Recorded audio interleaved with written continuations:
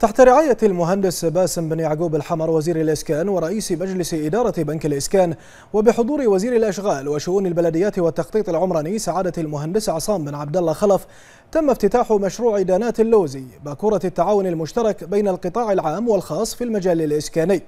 وقد صرح وزير الإسكان رئيس مجلس إدارة بنك الإسكان المهندس باسم بن يعقوب الحمر بأن مشروع دانات اللوزي يعد إحدى ثمار التعاون مع القطاع الخاص لتوفير مشاريع تلبي تطلعات المواطنين المدرجة على قوائم الانتظار بالوزارة. وقال المهندس الحمر إن الزيادة الملحوظة في تنفيذ المشاريع بالتعاون مع شركات التطوير العقاري في المملكة يؤكد نجاح المساعي الحكومية لإشراك القطاع الخاص في منظومة توفير مشاريع السكن الاجتماعي. منوها إلى أن توفير الحلول التمويلية للمواطنين من خلال برنامج مزايا بالإضافة إلى خدمات التمويل التي تقدمها الوزارة ساهم في تشجيع شركات القطاع الخاص على تشييد مشاريع السكن الاجتماعي.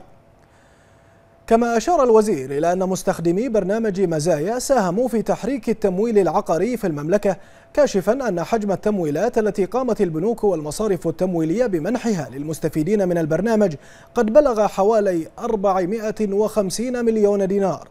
مفيدا أن زيادة حركة التمويل أدى إلى زيادة الطلب على مشاريع القطاع الخاص.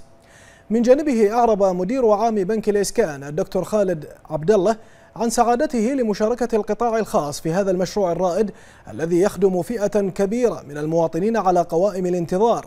مشيرا إلى أن مشروع دانات اللوز يعتبر أول مشاريع الشراكة مع ملاك الأراضي والتي تفتح مجالا للقطاع الخاص للمساهمة في التنمية الإسكانية.